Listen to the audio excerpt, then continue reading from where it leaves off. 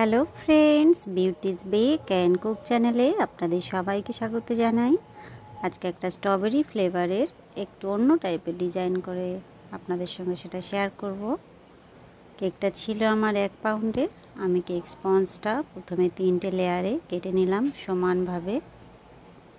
প্রথম লেয়ারের উপরে আমি কিছুটা স্ট্রবেরি ক্রাশ মিশিয়ে নিয়েছি জলে। সেইটা দিয়েই আমি কেক স্পঞ্জটা ভিজিয়ে নিচ্ছি হালকা করে। আমি এবার কিছুটা ক্রিম দিলাম, দিয়ে সঙ্গে স্ট্রবেরি ক্রাশ মিক্সড করছি। এটাকে সমানভাবে আমি এটা মিক্সড করে নিচ্ছি, নিয়ে চারিপাশে স্প্রেড করছি ক্রিমটা।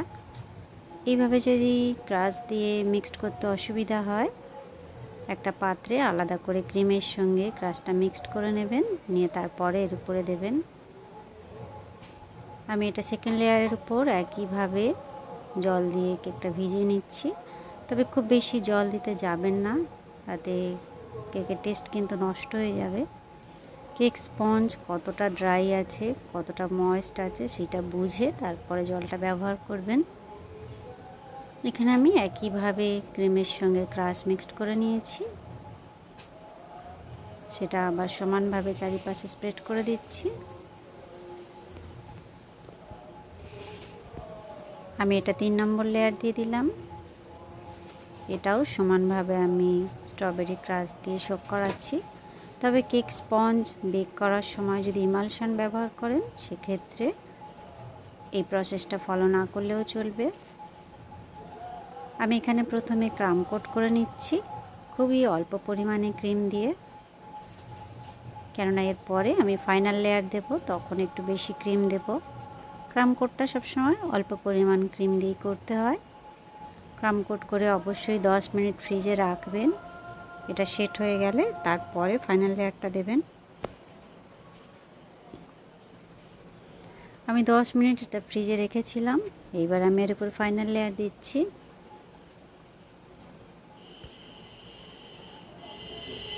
ক্রিম কম কম দেবেন না বেশি দেবেন, সেটা কাস্টমারের সঙ্গে আগে থেকে জেনে নিতে হয় তিনি কোনটা পছন্দ করছেন। অনেক সময় অনেক কাস্টমার আছেন যারা একটু বেশি ক্রিম পছন্দ করেন, আবার কিছু কাস্টমার আছেন যারা একদমই কম ক্রিম খেতে ভালোবাসেন। সেই জন্য সবসময় চেষ্টা করবেন মিডিয়াম ক্রিম ব্যবহার করতে। খুব বেশি ক্রিম দিলে ভালো লাগে না খেতে। আমি এইভাবে কেকটা সুন্দর করে ফিনিশিং দিয়ে নিলাম আস্তে আস্তে। আমি এটা দুটো কালার ইউজ করব। এটা আমি ক্রিমে ইয়েলো কালার মিক্সড করেছি, একদম লাইট ইয়েলো জাস্ট দু তিন ড্রপ আমি এখানে ব্যবহার করেছি। আমি এটা অর্ধেক সাইডটা আমি ইয়েলো কালার রাখব আর অর্ধেকটা হোয়াইট থাকবে।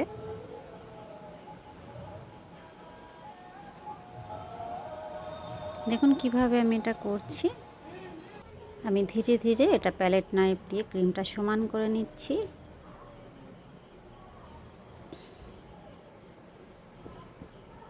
এইভাবে যখন দুটো কালার আলাদা আলাদা ভাগ করে ক্রিম লাগানোর চিন্তা ভাবনা নেবেন, তখন সবসময় পাইপিং ব্যাগের সাহায্যে করলে সেটা বেশি ভালো হবে।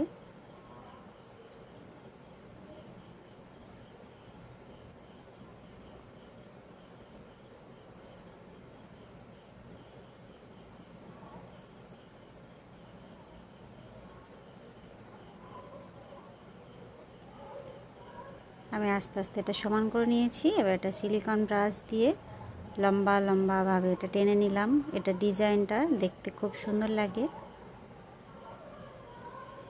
ব্যাস, এইভাবে ডিজাইনটা করেছি। এবার আমি একটা বর্ডার করে নিচ্ছি। ওই পাইপিং ব্যাগ দিয়েই করছি। ছোট করে আমার যেহেতু কাটা রয়েছে, ছোট্ট ছোট্ট করে আমি ডট দিয়ে পুরো বর্ডারটা করে নেব। ডিজাইনটাও কিন্তু দারুণ সুন্দর লাগে দেখতে।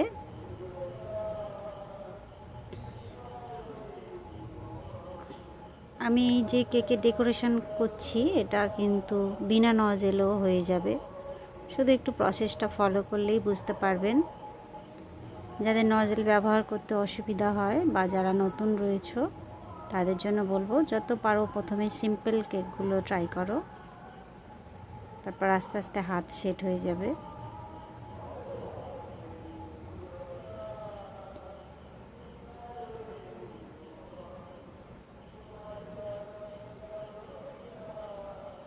বর্ডারটা হয়ে গিয়েছে। আমি একটা নজেল নিয়েছি, নিয়ে তিনটে জায়গায় আমি ভাগ করে একটু মার্ক করে নিচ্ছি, ওখানে আমি ডিজাইন করব। এটা আমি হচ্ছে ছোট সাইজের লিফ নজেল নিয়েছি, এর কোনো নাম্বার নেই বলে বলতে পারলাম না। আর এখানে ক্রিমে আমি ইয়েলো কালার মিক্সড করেছি, একটু বেশি পরিমাণে দিয়েছি।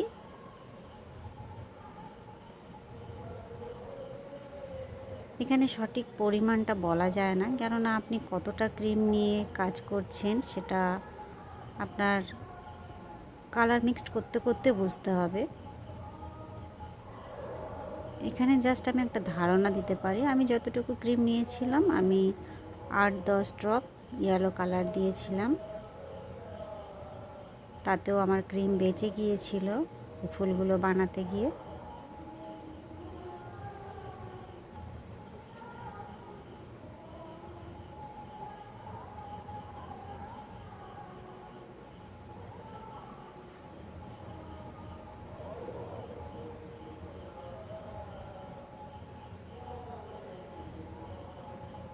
ব্যাস একে একে ফুলগুলো আমি কমপ্লিট করছি। আশা করি বুঝতে পারছেন আমি কি করছি। ছোট ছোট করে টানছি, ছোট ছোট করে পাতা স্টাইলে এটা হচ্ছে ডিজাইনটা।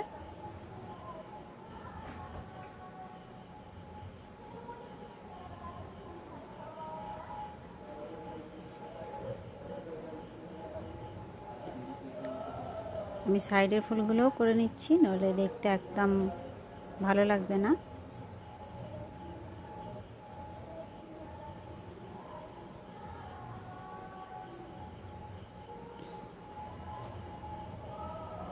আমি এটা চকলেট গানাস নিয়েছি। সেইটা দিয়েই মাঝখানে ডট ডট দিয়ে দিচ্ছি। একটু জাস্ট টেনে উপর দিকে উঠাচ্ছি আর কি। চকলেটটা আসলে আমি সবে ফ্রিজ থেকে বার করেছি বলে এতটা টাইট হয়ে রয়েছে। একটু নরম হলে জিনিসটা আরও ভালো হতো। কিন্তু আমার হাতে একদম টাইম ছিল না যে এটাকে আমি একটুখানি বাইরে রেখে তারপর কাজ করব। এবার আমি সাইড থেকে কয়েকটা লাইন টানছি।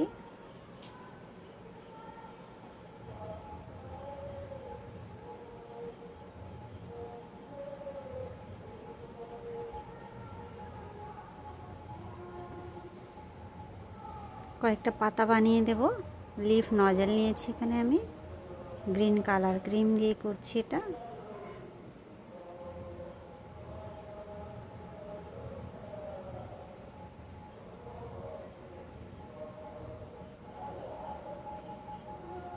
যেখানে যেখানে মনে হচ্ছে একটু পাতা করলে ভালো লাগবে, সেখানে দিচ্ছি। খুব খালি খালিও যেরকম ভালো লাগে না, আবার খুব বেশি ভরিয়ে দিলেও ভালো লাগে না। সেই জন্য একটু ভেবে চিনতে করতে হয়। আমি নামটা এখানে লম্বা লম্বিভাবে লিখে নিচ্ছি। পুরোটাই ক্যাপিটালে করছি। ডিজাইন হিসাবে কীভাবে নাম লিখলে ভালো হবে, ভালো লাগবে দেখতে, সেই হিসাবে আপনাকে নামটা লিখতে হবে। আমার মনে হলো এই স্টাইলটাই এখানে বেটার। এই কারণে এইভাবে লিখলাম আমি। ব্যাস। এবার কয়েকটা গোল্ডেন সুগার বল নিয়েছি। আমি একটু জাস্ট একটা ফুলের স্টাইল দেওয়ার চিন্তা করছি।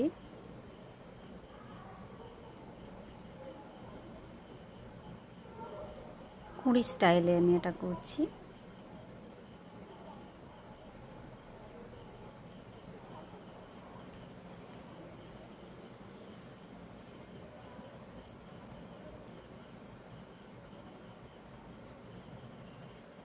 ব্যাস, কেকটা আমার কমপ্লিট বন্ধুরা, দেখুন কেমন লাগছে। ভালো লাগলে বা সামান্য একটু হেল্পফুল মনে হলে অবশ্যই একটা লাইক করবেন। চ্যানেলটা সাবস্ক্রাইব করে রাখবেন। আরও বিভিন্ন ধরনের ডিজাইন নিয়ে দেখা হবে নেক্সট ভিডিওয়ে বাই বাই